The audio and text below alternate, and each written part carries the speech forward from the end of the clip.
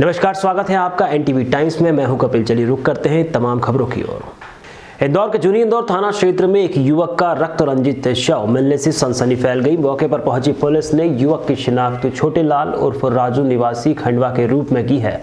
Police ने जाँच में शव पर चोट के निशान व हाथ बंधे होने की वजह से हत्या की आशंका जताई। इंदौर के जूनी इंदौर थाना क्षेत्र में एक युवक का रक्तरंजित शव मिलने से सनसनी फैल गई। मौके पर पहुँची पुलिस ने युवक की शिनाख्त छोटे लाल उर्फ़ राजू निवासी खंडवा के रूप में की है। पुलिस ने जाँच में शव पर चोट के निशान व हाथ बंदी होने की वजह से हत्या की आशंका जताई है। फ़िलहाल इस पूरे मामले में ये पता लगा है कि अवैध संबंध की वजह से छोटे लाल की हत्या की गई है। फ़िलहाल पुलिस ने शव को पोस्टमार्टम के लिए एम्बा अस्पताल भिजवाया व आरोपियों की तलाश की जा रही है। ये जूनी इंदौर थाना क्षेत्र में न्यू सेपी नगर के पास में एक खाली प्लाट है, वहाँ चौकीदार महिला रहती है, ममता भाई। उसके, उसने एक रहने का आवास झुग्गी टाइप बना रखा है, उसके ठीक सामने एक व्यक्ति की लाश पड़ी होने की सूचना मिली थी। उस पे से जाँच करने पे उसका नाम छोटे लाल उर्फ़ राजू, निवासी खंडवा का मालूम पड़ा है, जो कि आलू मंडी में हेमाली करता था और वहीं रहता था। इसमें प्रारंभिक जाँच में उसके पीठ पे और अन्य स्थानों पे चोट है। और शर्ट वगैरह नहीं पहना हुआ है, उसके हाथ पाथ भी बांधे थे, इसलिए संभवतः उसकी आरोपी द्वारा मारपीट करने के बाद खुले में पड़े होने से ही मृत्यु होना प्रतीत हो रही है। शव को पोस्टमार्टम के लिए भेजा गया है। इसमें जानकारी मिली है कि ममता बाई से इसके कुछ संबंध थे। वो ममता बाई और इनकी बात हो रही थी, इसके लेके ममता के जो भाई हैं, राधेश्याम और उसके फूफा वगैरह ने इसके साथ मारपीट की है। इस संबंध में और अभी पूछताछ चल रही है। क्या लग रहा है हत्या है या हाँ प्रारंभिक रूप से हत्या है। इंदौर से आशीष जादौन की रिपोर्ट। ज़िले के आदिवासी घनसोर क्षेत्र के लगभग 70 गाँव के किसानों के क्षेत्र में पर्याप्त मात्रा में पानी होने के बावजूद ना तो उन्हें पीने के लिए पानी मिल रहा है और ना ही खेतों में पानी पहुँच पाया है। किसानों ने बताया कि हमारे क्षेत्र में 20 एकड़ वाला किसान भी मजदूरी कर रहा है। ऐसा नहीं है कि इनके खेतों तक और गाँव में पीने का पानी नहीं पहुँच सकता। आपको बता दें कि नर्मदा नदी से झाबुआ पावर प्लांट को पानी दिया जा सकता है तो नहर के माध्यम से इन्हें क्यों नहीं दिया जा रहा? वहीं भाजपा सरकार के मंत्रियों ने लिफ्ट इरिगेशन से लेकर नल जल योजना की घोषणा तो कर दी थी, पर आज तक इनके गाँव में पीने का पानी नहीं पहुँचा। और खेतों में पानी तो बहुत दूर की बात है। किसानों ने चेतावनी देते हुए बताया कि यह आंदोलन उग्र होता जाएगा और किसान सड़क पर आकर आंदोलन करेगा। साथ ही आगामी लोकसभा चुनाव का बहिष्कार भी करेगा। बहरहाल किसानों ने बैठक की रूपरेखा तैयार कर ली है। विगत कई वर्षों से हम किसान जो है, हमारी खेती के लिए पानी की मांग कर रहे हैं, लेकिन आज तक सरकार ने हम किसान भाइयों को पानी नहीं दिया। कल के लिए जो पावर प्लांट कल आया और उनको आज पानी दे दिया गया। वो अपना कार्यक्रम में लग गए, लेकिन विगत कई वर्षों से जो हम पानी खेती के लिए मांग रहे हैं, हमको अभी तक पानी नहीं दिया गया है। हम लोग जो है, खेत, अब ये स्थिति है हमारी कि हम खेती छोड़ करके, बाहर मजदूरी करके, हम अपना जीवन यापन करेंगे, हमारे बच्चों को पढ़ाएँगे, लिखाएँगे, ये स्थिति बन गई है। अगर सरकार हमको पानी दे देती है तो हम जो है खेती अच्छे तरीके से करेंगे, हमारे बच्चों को अच्छे पढ़ाएँगे, लिखाएँगे अच्छा कोर्स करवाएँगे, और हम संगठन के माध्यम से जब तक हमारी मांग पूरी नहीं होगी, हमारे खेतों तक पानी नहीं आएगी, तब तक हम संगठन के माध्यम से, सरकार से हमारी लड़ाई जो है जारी रखेंगे। विगत कई वर्षों से जो है, हमारे ये किसान बंधु जो है, वो पानी के लिए मांग कर रहे हैं। क्योंकि ये बहुत बड़ा बेल्ट है, और यहाँ पे पूरा कृषि प्रधान ये पूरा क्षेत्र है। इसके अलावा कोई जो है, रोज़गार का कोई ज़रिया नहीं है। यहाँ बड़े बड़े बड़े किसान भी जो है, बीस एकड़ का किसान भी जो है, वो मजदूरी करने में विवश है।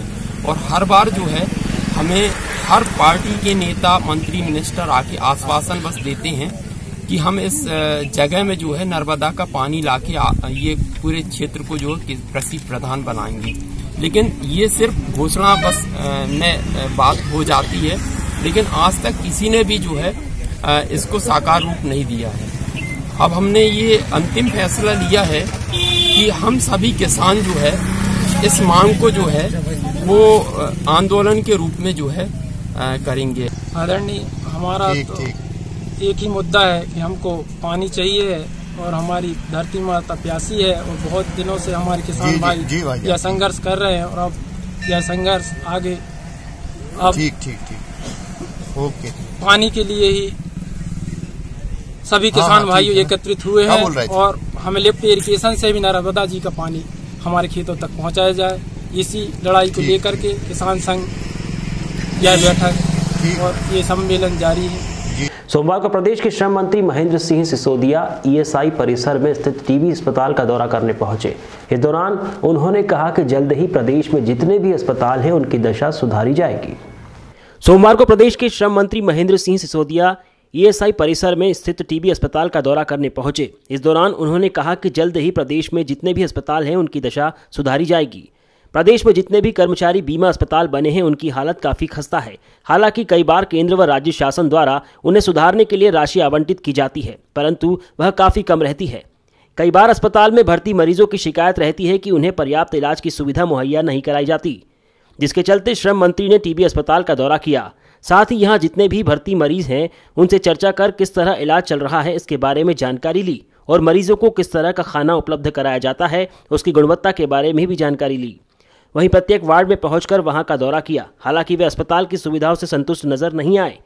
शौचालयों की स्थिति देखकर नाराज़ हुए और उन्होंने अधिकारियों को निर्देश दिए कि तत्काल वे शौचालयों की साफ़ सफ़ाई और अन्य व्यवस्थाएँ सुचारू रूप से उपलब्ध कराएँ।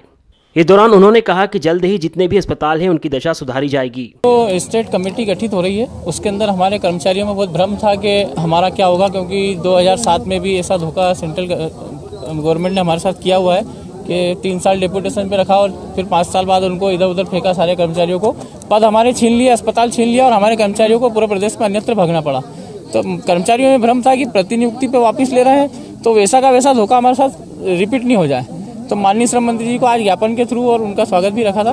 उसके थ्रू हमने यही ज्ञापन दिया है कि हम, अगर समान कार्य समान वेतन होता है, समान भत्ते मिलते हैं तो हमको कार्य करने में कोई परेशानी नहीं है। यूँ भी सेंट्रल से ज़्यादा काम स्टेट के लोग ही करते हैं। तो हमारा बस यही था कि जो भी कमेटी गठित हो रही है, उसमें किसी कर्मचारी का हित नहीं हो, उनकी पेंशन का क्या होगा, उनके रिटायरमेंट का क्या होगा, उनके वेतन, भत्तों का क्या होगा, ये सारी दृष्टि से रखते हुए हमने ये कार्यक्रम रखा था आज। योजना का बुरा हाल क्यों है? अब तो हम नए सवेरा ला रहे हैं। और नए सवेरा में जो हमने उसमें अपग्रेड किया है आधार को लिंक किया है और आयुष्मान योजना को भी उसका समावेश कर रहे हैं। इसके बावजूद भी शिकायतें बहुत आ रही हैं। अगर ऐसी कोई शिकायत आपको आती है तो आप संज्ञान में लाइए मैं कर बैठा इंदौर से आशीष यादव की रिपोर्ट। इंदौर के कलेक्टर कार्यालय में आज जिला योजना समिति की बैठक हुई। बैठक में मुख्य तौर पर गृह मंत्री बाला बच्चन उच्च शिक्षा मंत्री जीतू पटवारी और लोक स्वास्थ्य मंत्री तुलसी सिलावट शामिल हुए। इंदौर के कलेक्टर कार्यालय में आज जिला योजना समिति की बैठक हुई। बैठक में मुख्य तौर पर गृह मंत्री बाला बच्चन, उच्च शिक्षा मंत्री जीतू पटवारी और लोक स्वास्थ्य मंत्री तुलसी सिलावट शामिल हुए। दरअसल यह पहला मामला था जब इंदौर में तीन कैबिनेट मंत्री कांग्रेस की सरकार बनने के बाद पहली बार जिला योजना समिति की बैठक में एक साथ शामिल हुए। इस दौरान बड़ी संख्या में प्रशासनिक अधिकारी भी मौजूद थे। बैठक के दौरान तीन मंत्रियों ने प्रशासनिक कार्य की समीक्षा की। आपको बता दें कि कमलनाथ सरकार, कांग्रेस राष्ट्रीय अध्यक्ष राहुल गांधी ने साफ़ हिदायत दी है कि सभी मंत्री और विधायक अपने अपने क्षेत्र की जनता के बीच में रहेंगे और सरकारी कामों की समीक्षा करेंगे, जिसका असर आज जिला योजना समिति की बैठक में भी देखने को मिला।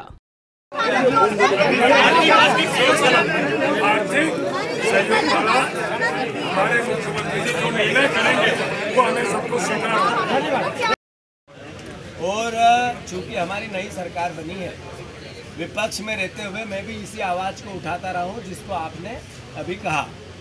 चूँकि आज मैं एक जुम्मेवार पद पे हूँ, कोई बात बिना अध्ययन से कहना मेरे लिए ठीक नहीं होगा, पर भावनात्मक और वैचारिक मैं इस बात से सहमत हूँ कि शासन होता है जनता के लिए, उस वर्ग के लिए जिसके लिए हम काम करते हैं। उसकी भावनाओं का ध्यान रखते हुए ये सरकार आगे बढ़े। इंदौर से आशीष यादव की रिपोर्ट। पंजाब विधानसभा का बजट सेशन 12 फरवरी से शुरू होगा लेकिन 18 फरवरी को बजट पेश किया जाएगा। बजट सत्र में विपक्ष की ओर से कई मुद्दे उठाए जाएँगे जिसमें किसानों की कर्ज माफ़ी को लेकर किए गए वादे न निभाना टीचर्स पर लाठीचार्ज नौकरी के वादे स्टूडेंट्स को स्मार्टफ़ोन का वादा पूरा न करना आदि शामिल होंगे। पंजाब विधानसभा का बजट सेशन 12 फरवरी से शुरू होगा लेकिन 18 फरवरी को बजट पेश किया जाएगा। बजट सत्र में विपक्ष की ओर से कई मुद्दे उठाए जाएँगे।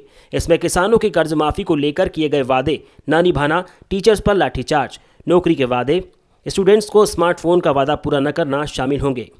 सरकार आर्थिक संकट का रोना रो रही है। पंजाब सरकार पर मार्च 2018 तक एक करोड़ पंचानवे हज़ार का लोन आउटस्टैंडिंग है। हर महीने करीब 290 करोड़ ब्याज में ही चला जाता है। तमाम तरह के कर्जों पर 2016-17 में ही चार करोड़ ब्याज गया था। सरकार के तीन बड़े विभाग पीआईडीबी, आरडीबी और पूरा भारी कर्ज में डूबे हुए हैं।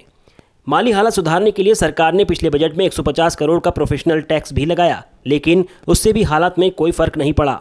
इस बजट में सरकार पर पुराने वादे और स्कीमें पूरी करने का दावा रहेगा। छठे वेतन आयोग की सिफारिशें लागू करने के लिए सरकारी मुलाजिमों के वेतन के लिए भी करीब 2000 करोड़ रुपए चाहिए। इस बीच सरकार के लिए चैलेंज ये है कि 13 परसेंट कमाई घट गई है। प्रधानमंत्री नरेंद्र मोदी की 15 व 16 फरवरी को होशंगाबाद व धार में होने वाली सभा की तैयारियों को लेकर दिल्ली में बैठक हुई। इसमें तय हुआ कि दोनों सभाओं में 20-20 विधानसभाओं से बूथ स्तर से लेकर ऊपर तक के कार्यकर्ताओं को शामिल किया जाएगा। इस किसी भी सूरत में संख्या एक लाख से कम न हो। प्रधानमंत्री नरेंद्र मोदी की 15 व 16 फरवरी को होशंगाबाद व धार में होने वाली सभा की तैयारियों के लिए दिल्ली में बैठक हुई।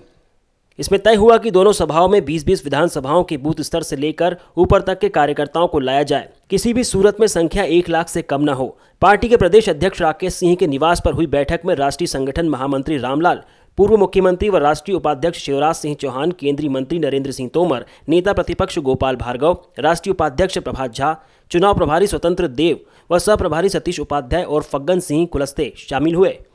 रामलाल ने कहा कि प्रधानमंत्री की सभा की तैयारियों में कमी न हो। आपको बता दें कि होशंगाबाद और धार दोनों संसदीय सीटों पर हाल ही के विधानसभा चुनावों में भाजपा की सीटें ज़्यादा रहीं, इसलिए संख्या को लेकर भाजपा थोड़ी आश्वस्त है। बैठक में लोकसभा चुनाव के कार्यक्रमों को लेकर भी बात हुई। रामलाल ने कहा कि हर कार्यक्रम में यह प्रयास किया जाए कि कोई ना कोई बड़ा नेता वहाँ रहे और संसदीय सीटों के चुनाव प्रभारियों के साथ भी सतत संपर्क रहे। चार दिन से पड़ रही कड़ाके की ठंड से सोमवार को भले ही राहत मिल गई हो, लेकिन भोपाल समेत प्रदेश के 29 शहरों में रात का तापमान 10 डिग्री से कम ही रहा। भोपाल में दिन के तापमान में 2.9 और रात के तापमान में 2.6 डिग्री का इजाफा हुआ। चार दिन से पड़ रही कड़ाके की ठंड से सोमवार को भले ही राहत मिल गई हो, लेकिन भोपाल समेत प्रदेश के उनतीस शहरों में रात का तापमान 10 डिग्री से कम ही रहा।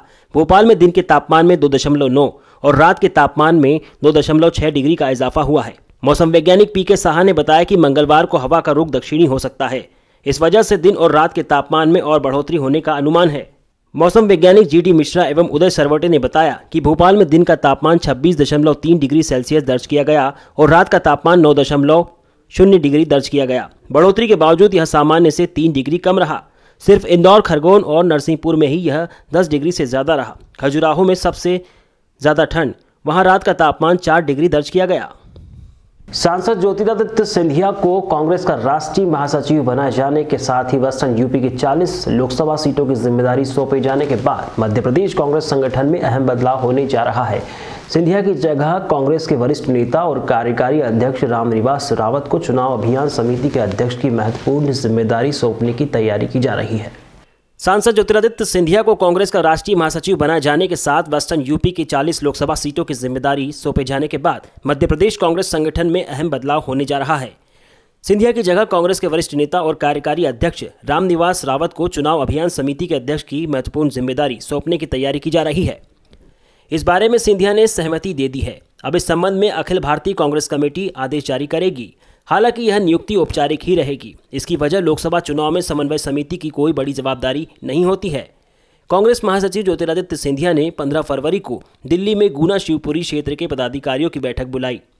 बैठक में चुनाव से संबंधित तैयारियों पर चर्चा होगी। गौरतलब है कि सिंधिया इस क्षेत्र से सांसद हैं। वे अपने संसदीय क्षेत्र में लोकसभा चुनाव के लिए अभी से जमावट कर रहे हैं। रावत ग्वालियर चंबल अंचल की विजयपुर सीट से पिछला विधानसभा चुनाव हार गए थे। इससे पहले वे इसी सीट से पाँच बार विधायक रहे हैं। रावत को सिंधिया का विश्वस्त माना जाता है। लोकसभा चुनाव की तैयारियों को देखते हुए फ़िलहाल कांग्रेस संगठन में कोई बड़ा बदलाव प्रस्तावित नहीं है। लेकिन विधानसभा चुनाव के पहले गठित कांग्रेस की संचालन कमेटी पूर्व की भांति कार्य करती रहेगी। समन्वय की ज़िम्मेदारी संभाल रहे पूर्व मुख्यमंत्री दिग्विजय सिंह अपनी जवाबदारी देखते रहेंगे। चारों कार्यकारी अध्यक्ष की व्यवस्था भी लागू रहेगी। वर्तमान में मुख्यमंत्री कमलनाथ के नेतृत्व में चारों कार्यकारी अध्यक्ष जीतू पटवारी, बाला बच्चन, सुरेंद्र चौधरी, रामनिवास रावत काम देख रहे हैं। कांग्रेस महासचिव प्रियंका गांधी वाड्रा का उत्तर प्रदेश दौरे का मंगलवार को दूसरा दिन है। वह 2019 के आम चुनावों की तैयारी के लिए करीब 42 लोकसभा सीटों पर पार्टी की ताकत का आकलन करेंगे। आज और आगामी दो दिनों तक वह सुबह से रात तक पार्टी कार्यालय में अलग अलग सीटों के कार्यकर्ताओं से मुलाकात करेंगे। कांग्रेस महासचिव प्रियंका गांधी वाड्रा का उत्तर प्रदेश दौरे का मंगलवार को दूसरा दिन है। वह 2019 के आम चुनावों की तैयारी के लिए करीब बयालीस लोकसभा सीटों पर पार्टी की ताकत का आकलन करेंगी। आज और आगामी दो दिनों तक वह सुबह से रात तक पार्टी कार्यालय में अलग अलग सीटों के कार्यकर्ताओं से मुलाकात करेगी। हर एक लोक पैच हर एक लोकसभा क्षेत्र के लिए एक घंटे का समय तय है। यूपी के चार दिन के दौरे का आगाज़ करते हुए प्रियंका ने सोमवार को राहुल गांधी के साथ रोड शो किया था। महासचिव और यू महासचिव और पूर्वी यूपी प्रभारी बनने के बाद प्रियंका का यह पहला दौरा भी है। प्रियंका से मिलने वालों में जिला अध्यक्ष और स्थानीय नेता शामिल होंगे। एक सीट से करीब पंद्रह कार्यकर्ताओं का चयन किया गया है। प्रियंका गांधी की निजी टीम में चार लोग हैं। वे इस मुलाकात के नोट्स तैयार करेंगे। सोमवार को देश भर में पेट्रोल और डीजल के दामों में बढ़ोतरी के बाद आज इनमें राहत मिली है। तेल कंपनियों ने मंगलवार को पेट्रोल और डीजल के दामों में कोई बदलाव नहीं किया है। इसके बाद राजधानी में पेट्रोल, जहाँ सत्तर रुपये तैंतीस पैसे लीटर मिल रहा है, वहीं डीजल पैंसठ रुपये बासठ पैसे प्रति लीटर मिल रहा है। सोमवार को देश भर में पेट्रोल और डीजल के दामों में बढ़ोतरी के बाद आज इनमें राहत मिली है। तेल कंपनियों ने मंगलवार को पेट्रोल और डीजल के दामों में कोई बदलाव नहीं किया। इसके बाद राजधानी में पेट्रोल, जहाँ सत्तर दशमलव तैंतीस रुपये प्रति लीटर मिल रहा है।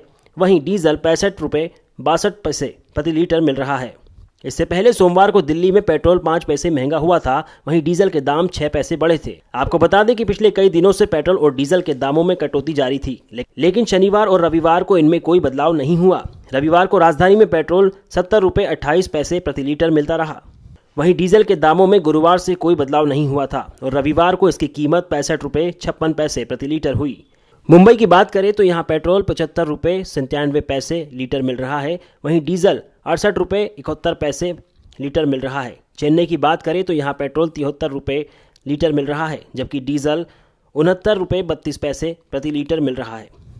फ़िलहाल इस बुलेटिन में इतना ही। लगातार खबरों के लिए आप देखते रहिए एन टाइम्स। नमस्कार।